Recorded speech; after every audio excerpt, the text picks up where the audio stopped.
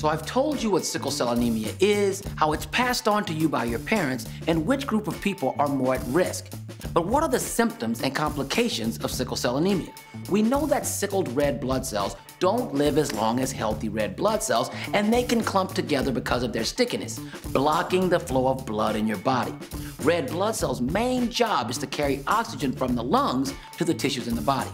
If there aren't enough red blood cells carrying oxygen, or if blockages keep the blood from getting to your organs, your organs might not get the oxygen they need to work the way they should. This is why you get the horrible symptoms of sickle cell anemia. Symptoms can appear anywhere between early childhood and early adulthood, and not everyone has all of the symptoms, but they commonly include fatigue caused by anemia, or pain and swelling if sickle cells get stuck somewhere. What's more, less oxygen in your body can lead to difficulty breathing, stunted growth, delayed puberty, loss of vision, or leg ulcers. And finally, complications of sickle cell anemia that may not have obvious symptoms include inflammation, stroke, infections, heart disease, high blood pressure, enlarged spleen, gallstones, kidney disease, loss of bone tissue, and even shortened life expectancy.